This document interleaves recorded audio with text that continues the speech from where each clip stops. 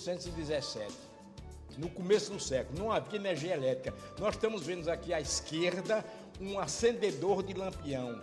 Aqui à esquerda nós temos um acendedor de lampião ele acendendo o lampião às 5 horas da tarde, o bonde a burro aqui à direita, bonde a burro e um lampião. E no meio da, da praça 1817 nós tínhamos a igreja da Mercedes, não é verdade? Que hoje que foi demolida em 1940 por Asmir Figueiredo e construída na rua Padre Mira. Essa rua, quer dizer, aqui funcionou posteriormente, não tinha existia energia, mas de, geralmente aqui no meio instalaram um chafariz em 1914, quando chegou a água, d'água, Álvaro Machado, um, tinha um chafariz.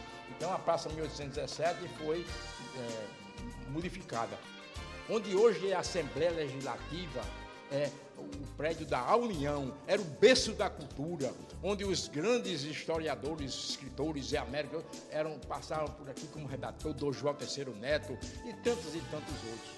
Temos aqui uma foto muito importante que é essa rua aqui, que é a rua direita.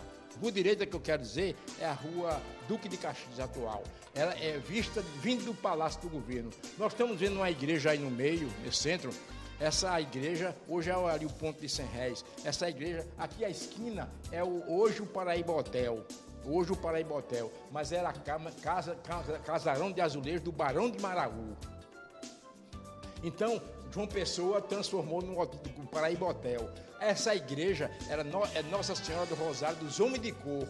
Foi demolida em 1916 no governo de é, Guedes Pereira para, para instalar o ponto de 100 réis. Ali a parada do bonde, era a parada do bonde. De onde veio o nome ponto de 100 réis? Porque o bonde vinha da Duque de Caxias, parava ali e o condutor os tripulantes gritavam, ponto de 100 réis. Quer dizer, ele queria dizer que tinha que pagar novo, nova moeda, novo trajeto, um ponto de sessão.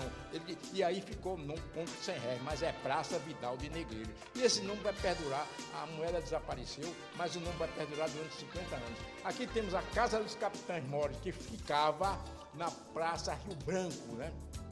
na Praça Rio Branco. Casa de Capitães Mora. Era uma, uma construção belíssima, majestosa, uma escada entrilobada, na é verdade, com duas entradas de sacada, as portas né, abalcoadas, né, e, e abalcoadas. Então, em emblema português, aqui funcionou de frente à a, a, a, a, Praça Rio Branco. Isso aqui era na, hoje é, é um prédio da Polícia Federal. De frente, funcionava o Pelourinho, Pelourinho era onde coloca, era uma, uma, peça onde se colocava os escravos fugitivos e davam seu corretivo, não é verdade?